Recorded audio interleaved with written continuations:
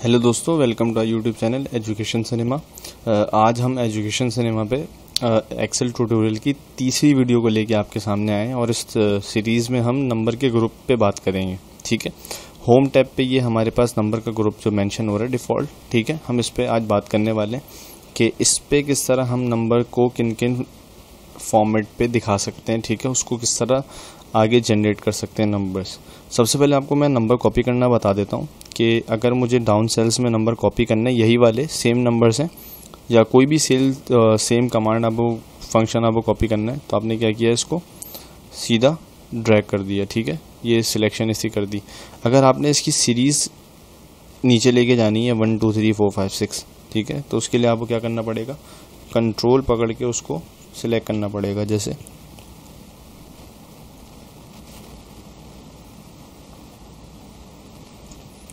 ये इस तरह, ठीक है? आपने कंट्रोल पकड़ के इसको सिलेक्ट कर लिया। इसके बाद, अगर मैं आपसे कहूँ कि मेरे पास ट्वेंटी डॉलर्स हैं तो ये कैसे हो गया? ये क्या चमत्कार हुआ? ठीक है? तो ये चमत्कार यहाँ से हुआ है, ठीक है?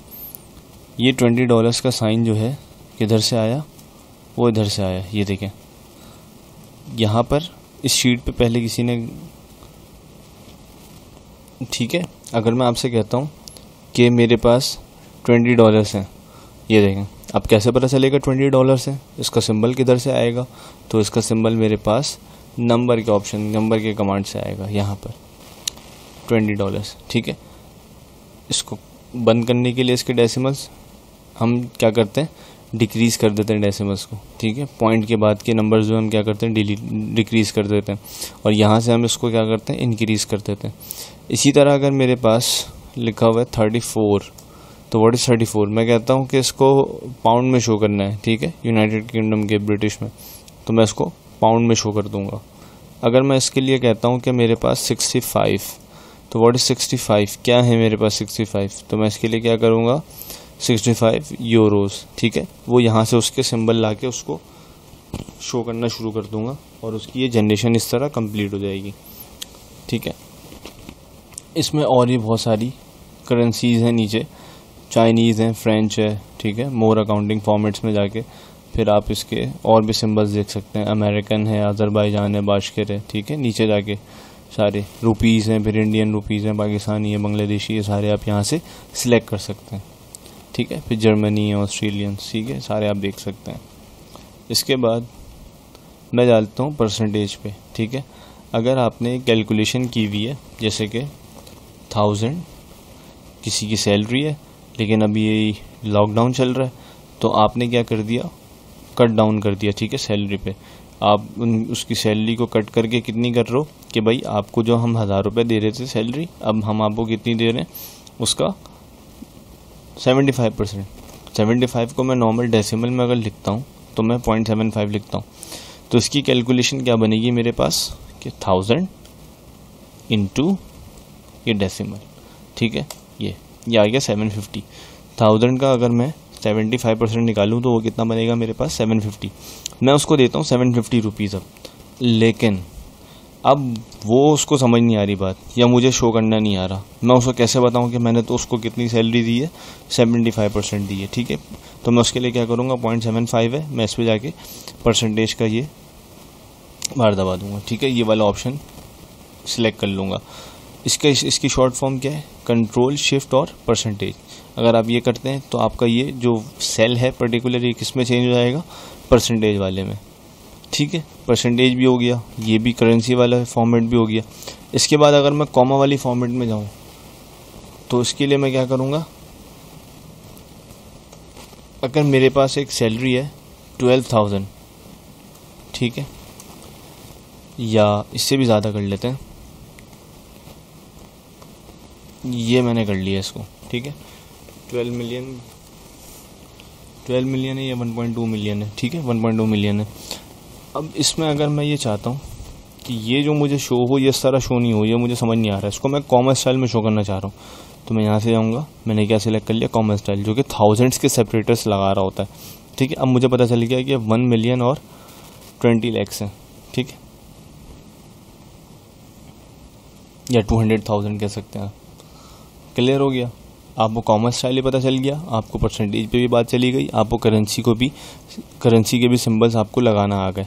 ठीक है?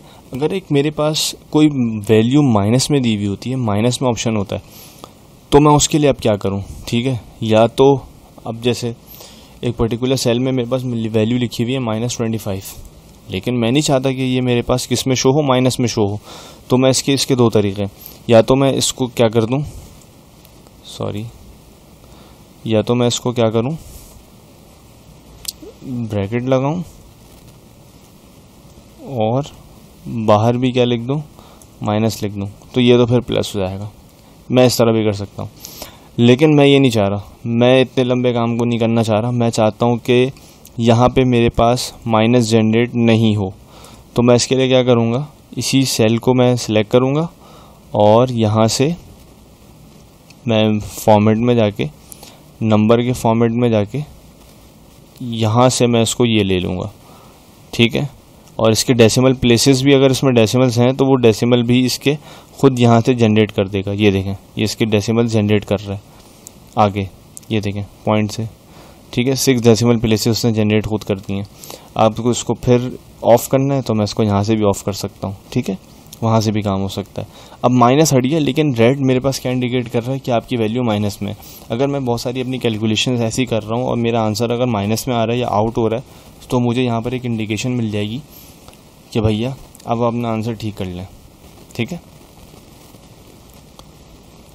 इसके बाद टाइम है।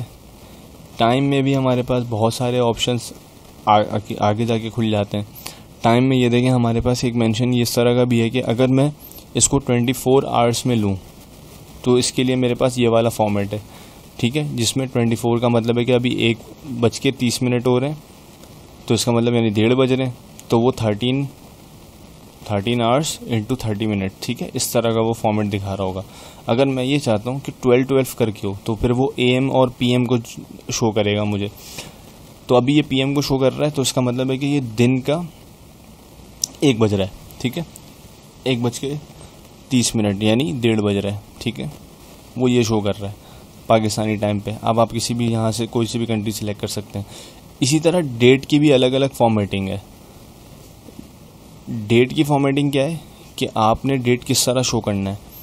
नॉर्मली हम क्या शो कर रहे होते हैं? पहले हमारे पास क्या आ रहा होता है? पहले हमारे पास मंथ आ रहा होता है। फिर हमारे पास डे आ रहा होता है, फिर हमारे पास ईयर आ रहा होता है। लेकिन हमने जो नॉर्मली सीखा भी होता है, हम पहले डेट लिखते हैं, फिर मंथ लिखते हैं, और फिर क्या ईयर लिखते हैं।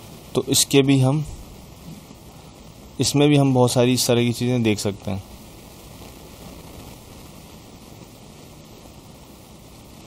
ठीक है? ये जॉर्जियन कैलेंडर पे बता रहा है। अच्छा। अब मैं लिख देता हूँ। सॉरी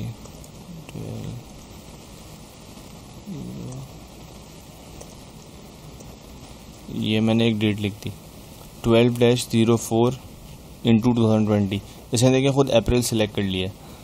अब मैं इसी सेल पे जाके इसको मैं चेंज भी करने की कोशिश कर सकता हूँ। मैं क्या करता हूँ? इसको चेंज करता हूँ। ठीक है, इसने ट्वेल्व मार्च ये ले लिया। मैं इसको ऐसे लिख सकता हूँ। ठीक है? मैं इसको इस फॉर्मेट में भी लिख सकता हूँ। ये देखें।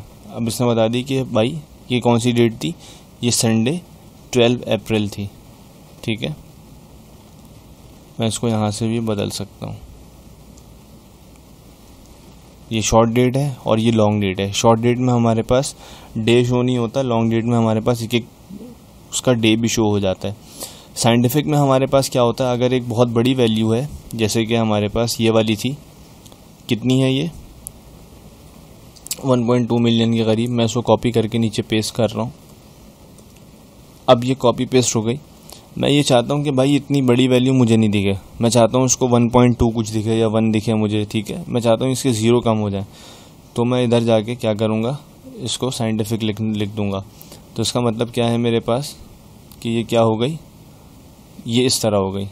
One in one point two into raise to the power six ठीक है? इसका मतलब मेरे पास वन पॉइंट टू मिलियन हो गया। वो ज़ीरो उसने हाइड कर दिए पावर उसकी बना दी। इस तरह मैं साइंटिफिक भी शो कर सकता हूँ। मैं फ्रैक्शंस में भी चीज़ें शो कर सकता हूँ। जैसे कि मैंने लिखा है फोर अपॉन थ्री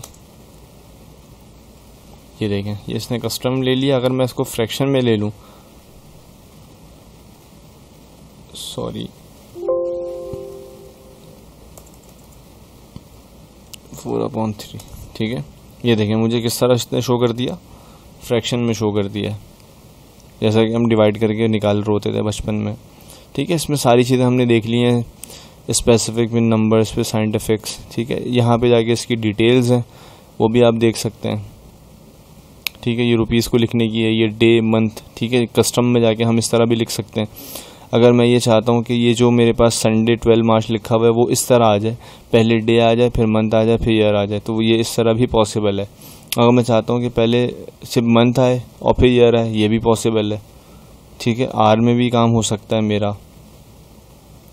ठीक है? ये सारे काम इस तरह मेरे पास चल सकते हैं। अब मैं ये डेसिमल्स आपको मैंने बन करना बता दिए ठीक है? नंबर पोर्शन आज हमने कवर कर लिया इसके बाद हम चलेंगे स्टाइल्स पे। स्टाइल्स पे जाने के बाद फिर हमारा अगला टारगेट होगा सेल्स और फिर इसकी फॉर्मेटिंग देखेंगे इंसर्ट और डिलीट और फिर एडिटिंग पे जाएँगे। ठीक है? Thank you